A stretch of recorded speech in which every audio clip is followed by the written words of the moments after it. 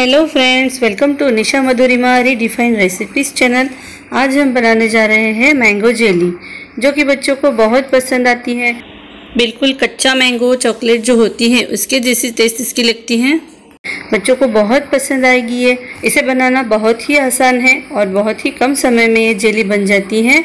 तो चलिए हम इसे बनाना स्टार्ट करते हैं। इसे बनाने के लिए हमने 100 ग्राम चीनी ली है, आधा कप चीनी है ये।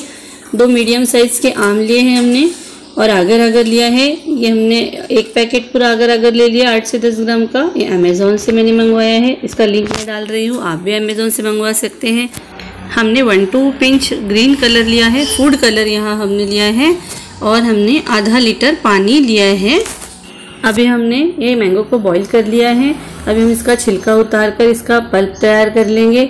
देखिए, मैंने पल्प तैयार कर लिया है मैंगो से और इसे मिक्सी में से अच्छे से चला लिया है एक बार ताकि इसमें रेशे ना रहे। और ये आगर को भी मैंने पानी में डाल दिया है। इसे भी मैं 10 मिनट के लिए सोक करने के लिए रख दूँगी ताकि ये अच्छे से घुल जाए। अभी हम एक पैन लेंगे।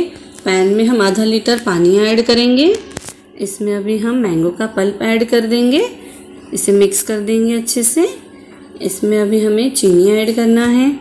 इसे भी हम अच्छे से मिक्स कर देंगे। इसमें अभी हम आगर अगर ऐड कर देंगे। थोड़ा सा फ़ूड कलर डालेंगे हम। हरा कलर हमने यहाँ यूज़ किया है। इसे भी मिक्स कर देंगे। अभी हम इसे पाँच से सात मिनट के लिए अच्छे से पकने देंगे। देखिए, अच्छे से उबल चुका है ये। ये सेट करने के लिए रेडी है। इसे एक बॉल में हम डालेंगे। बचा हुआ मिश्रण हम एक आइस ट्रे में डाल देंगे। अब ये सारा हमने एक बॉल में और आइस ट्रे में सेट कर लिया है। इसे अभी हमें फ्रिज में रखना है 15 से 20 मिनट के लिए। अभी देखिए 15 से 20 मिनट हो चुके हैं। कितने अच्छे से हमारी जेली सेट हो गई है। एकदम ट्रांसपेरेंट जेली लग रही है। देखिए कितने अच्छे से, कितनी सुंदर दिख रही है। इसे अभी हमें निकालना है। एक नाइफ़ की सहायता से हम इसे निकालेंगे। हम इन्हें किनारों से थोड़ा सा लूज़ कर लेंगे। इसे घुमाकर हम इसे सारे किनारे इसके लूज़ कर लेंगे। देखिए इसे धीरे धीरे अभी हम इस पर एक प्लेट रखेंगे और इसे निकालेंगे। इसे सीधा रख के थोड़ा सा टैप करेंगे। देखिए वाह कितनी सुंदर जेली बनकर तैयार हो गई है। एकदम सुंदर लग रही है। कलर भी बहुत सुंदर आया है इसका। अभी हमें आइस ट्रे में जो रखा है, उसमें से निकाल लेंगे जेली को।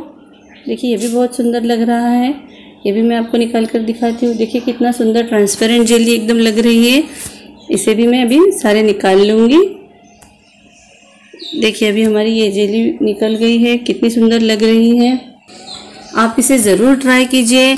बहुत ही आसान रेसिपी है ये। अगर आपको हमारी ये रेसिपी पसंद आई हो तो आप हमारे चैनल को लाइक शेयर और सब्सक्राइब ज़रूर कीजिए। साथ में जो बेल आइकन दिया है, उसे भी प्रेस कीजिए, ताकि आपको हमारे नए वीडियोस की जानकारी सबसे पहले मिल सके। तब तक के लिए नए वीडियो में नई रेसिपी के साथ फिर मिलते हैं। नमस्ते।